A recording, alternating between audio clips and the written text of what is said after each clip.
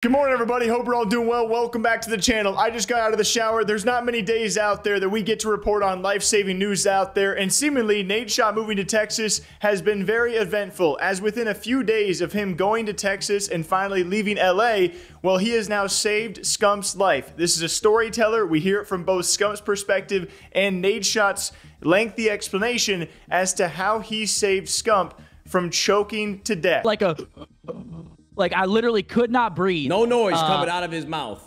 But but but let me let me just let me also set let me also set the the the uh the story up a little bit better. So these steak quesadillas or steak fajitas were cold and they were chewy as shit.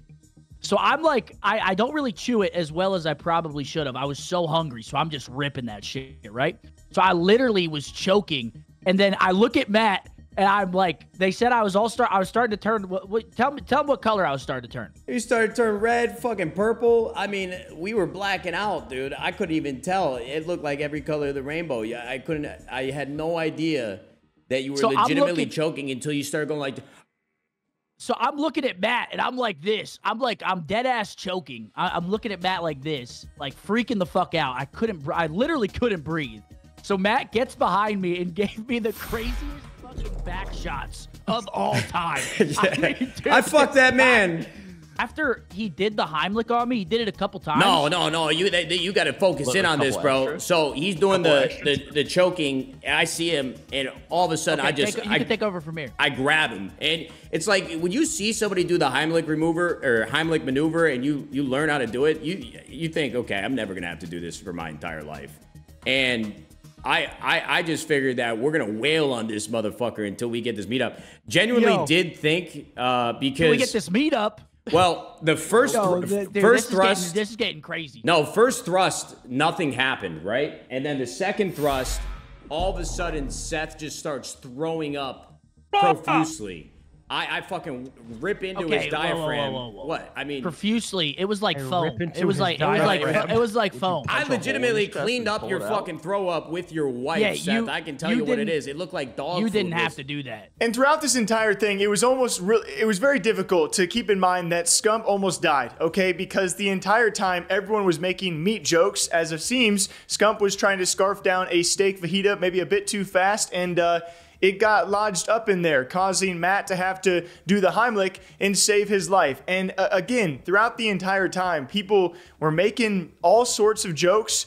And so it was hard to, it was hard to take this one as seriously as we probably should have. Scump could have died, which is crazy because previously they were also joking about how how banger of a funeral stream there would have been and how many more viewers there would be to spread around if Scump hadn't made it. Luckily, he beat the steak fajita. All right.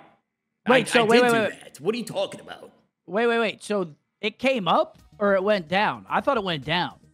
What do you mean it came up or The went steak, down? the steak, the steak. all of it came up and out, bro. It was beer, Oh. steak. We, I mean, we Oh. we got you were choking, and after two Heimlichs, it actually worked, and everything came out. But I keep I keep doing it because he's not saying anything. He's not making any noise still. Besides that throw up, as soon as the throw up came out, I'm like, thank God.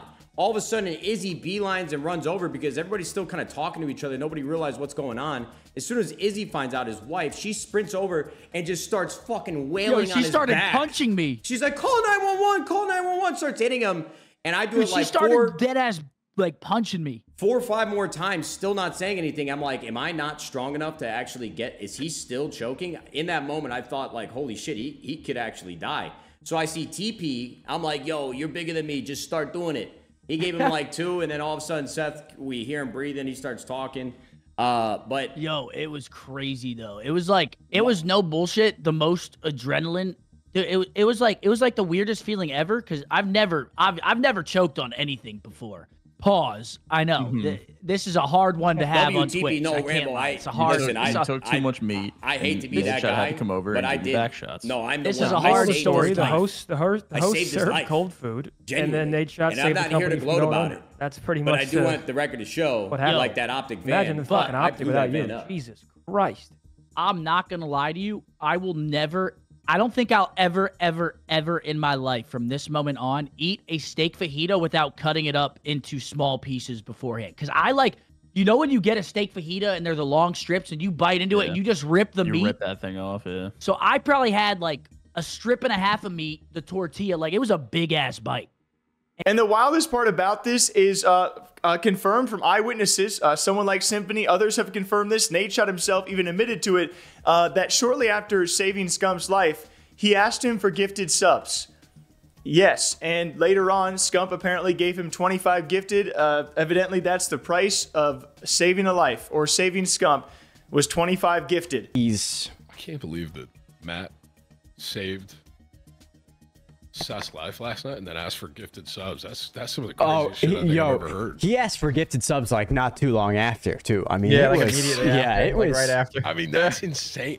Like they were like, Tim, how many gifted subs would you give Matt for saving your life? And I was like, we're really trying to put like a money value on Scump's life here. I mean, I, I would ask for gifted subs if I saved your life. I can't believe Seth almost died. I mean, that was That, that was fucking insane. Yeah, was Holy shit. scary. And then afterwards, he kept saying sorry. I'm like, brother, Yeah, I'm, just, I'm just glad you're here right now. Like, what? don't say sorry, dude. Holy shit. And I'll never do it again. But so, so go ahead, go ahead. So just to confirm, Nadeshot saved your life. I knew it after coming. almost killing him I'll take a hundred. After by almost- serving I'll take by, a by serving the cold food. Seth, Matt- Seth took too much meat. Hold on, hold on, hold on, should hold on, to come give Sam. Hold on. He, he, he was about to say something. Let's hear it. Yo, you're crazy. Matt did save my life. Is actually looked at me yesterday in bed and was like, "You know, Matt saved your life today, right?" And I was like, "Can you fucking stop?" Like you, I'm, I'm in bed. I'm about to go to bed. I'm literally sleeping. She's like, "You could have died," and I'm like, "Oh my god, you need to chill." Are you gonna Like, give them subs? I mean, no, Uh, no. I- I- Even if he doesn't end up giving me subs, I just, I, I now hold this, Still putting it. this power.